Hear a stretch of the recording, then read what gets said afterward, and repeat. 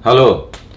Nah, ini juga masih aku ngikutin, uh, maksudnya uh, memenuhi permintaan beberapa teman-teman tentang latihan fingering. Ini udah bukan basic lagi. Jadi latihan fingering yang yang paling sering aku latih fingering ya. Fingering itu kita fokusnya fingering berarti kita fokusnya lebih ke motorik jari. Teorinya apa pun itu terserah, mau pakai teori apa pun untuk latih fingering terserah tapi pola fingering yang aku sekarang mau share ke kalian teman-temanku.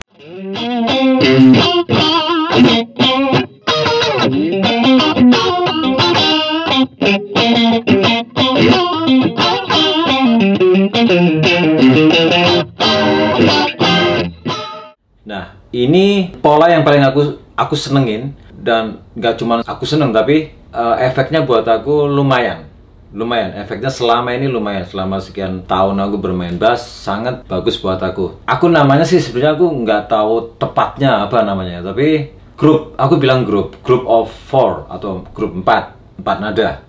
Satu kelompok empat group of three tiga nada satu grup satu gerakan. Group of three tiga group of four empat nada ini yang paling sering aku latih. Mau diatonic scale diatonik scale itu misalkan do re mi fa sol la si do itu diatonik mayor. Kalau pentatonik mayor itu kan cuma 5 not. Jadi diatonik itu 7 not satu oktav 7 not diulang-ulang. Kalau pentatonik tinggal 5 not. Dua not dari diatonik diambil dua. Yang hilang dari uh, diatonik mayor menjadi pentatonik mayor yang hilang dari do re mi fa sol la si. Ini diatonik. Yang hilang adalah ada yang tahu? Ini. Uh, dan yes. Fa dan si. Eh sorry fa kok ini? Fa do re mi fa dan si. Jadi tinggal do re mi sol la si lagi. Eh sorry do lagi. Re mi sol dan seterusnya. Diatonik itu do re mi fa sol la si. Satu oktav.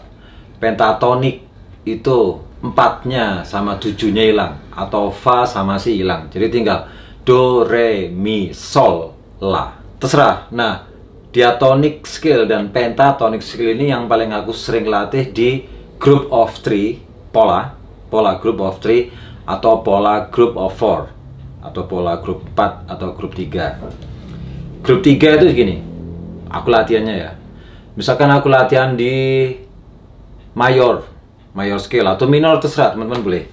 Polanya yang penting di sini teorinya terserah teman-teman. Aku kasih contoh di major scale mayor scale. Pola 3 itu maksudnya gini satu ketuk uh, eh sorry kita pakai uh, notnya not seper 16 satu ketuk 4 not do ga pat misalkan do re mi fa. Do re mi fa sol la si. Do re mi fa sol la si. Terus. Dan seterusnya. Jadi satu ketuk 4 not itu kita pakai harga uh, not seper 16 kalau not seper 8 satu ketuk dua not do, re, mi, fa, sol, la, dan seterusnya.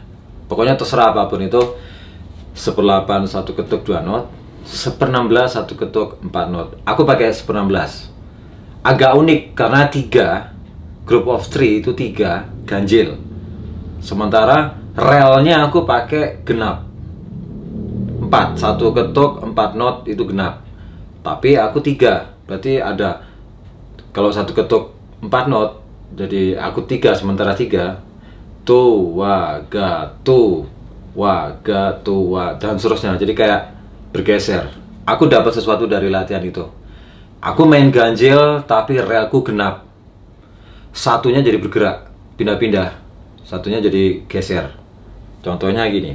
Nah sekarang aku kasih contoh uh, sedikit tentang group of three. Jadi kalau aku main di major scale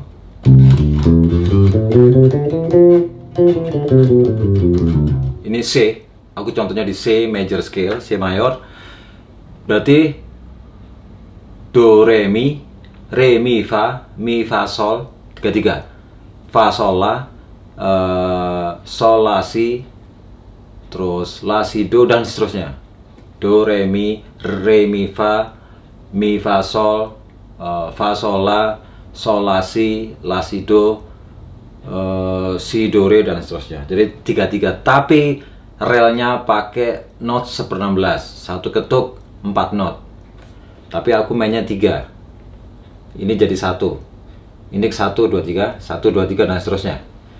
Ya supaya teman-teman nggak bingung. Aku mainin. Di di metronom kini bunyi satunya beda. Ada penandanya. Aku group of three dulu ya. Group of three dulu tiga not tiga not di contohnya di C mayor pakai not seper 16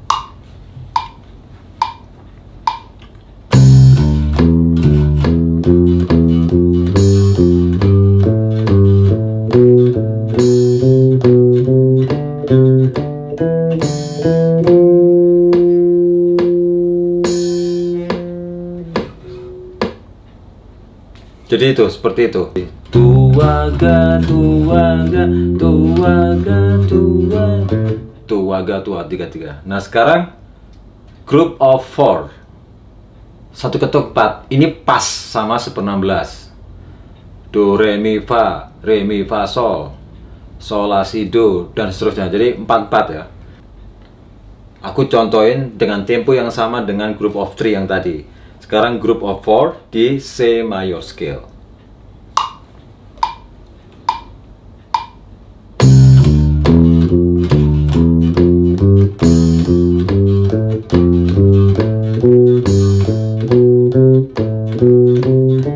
Nah,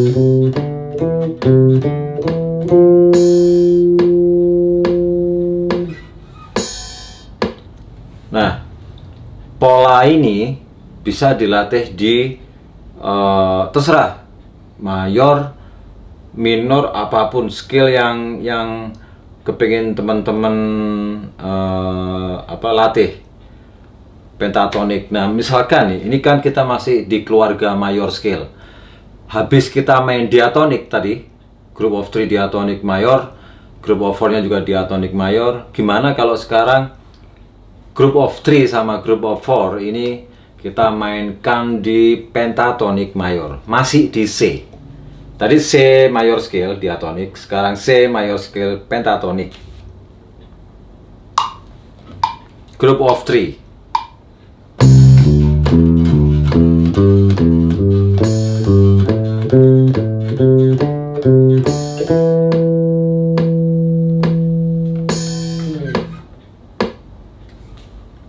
pentat C pentatonic major scale dengan group of three. Kalau tadi pertama C diatonic major scale. Nah sekarang group of four, pola group of four atau empat, grup empat kita pakai buat memainkan C pentatonic major scale. Satu ketuk empat not.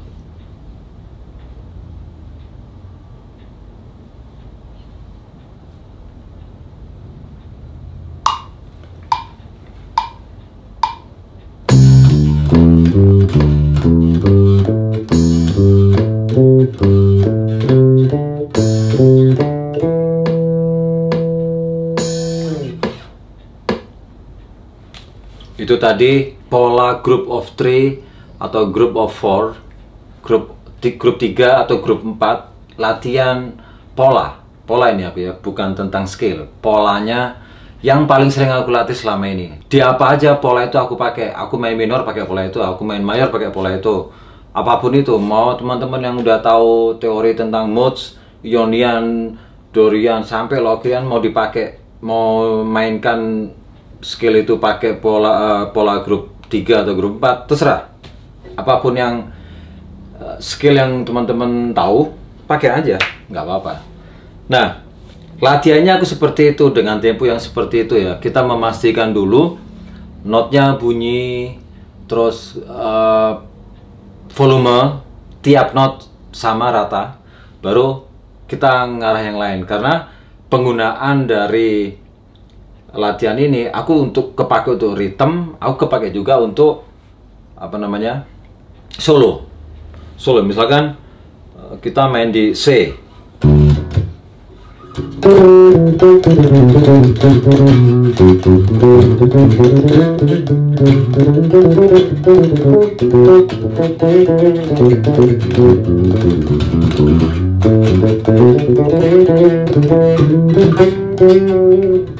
dan seterusnya.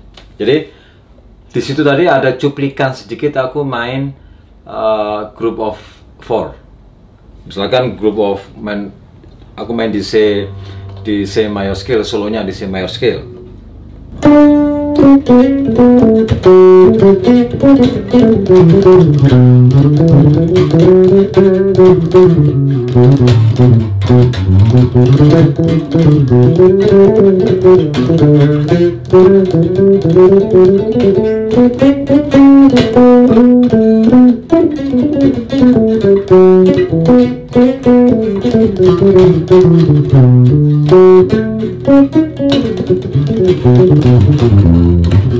Oke,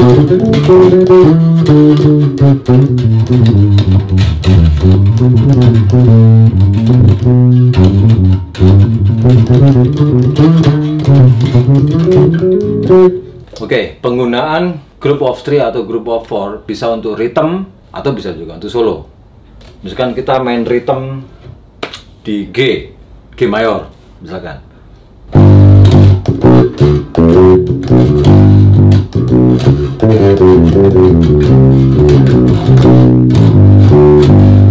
Misalkan group of four tadi, atau group of of three.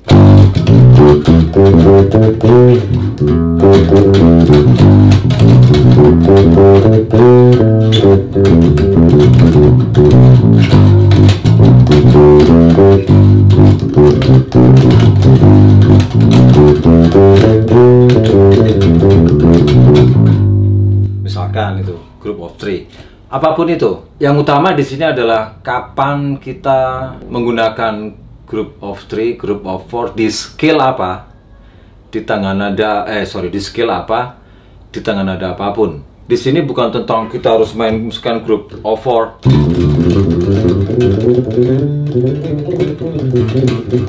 Bukan seperti itu.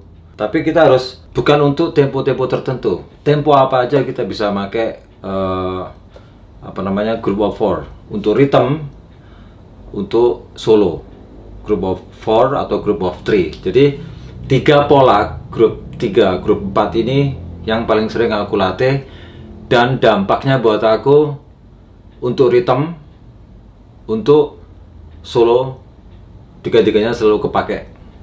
Untuk skill apa pun, aku udah menggunakan skill yang aku ku- kuasain, aku udah banyak sekali menggunakan tiga pola ini. Jadi mudah-mudahan itu membantu teman-teman dan ini emang eh, dan untuk teman-teman yang basic eh, materi kali ini sebenarnya bukan basic, jadi lebih sedikit di atas basic. Jadi nanti selanjutnya pola-pola yang agak sedikit aneh nanti aku bahas di video selanjutnya. Sementara ini dulu, selamat belajar, see you on stage.